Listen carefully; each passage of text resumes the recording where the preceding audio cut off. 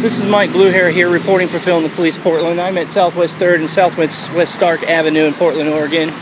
And I just want to report to you guys out there on the interweb how Michael Strickland is being basically screwed over and convicted in the court of public opinion by our mostly leftist media here in uh, Portland, Oregon.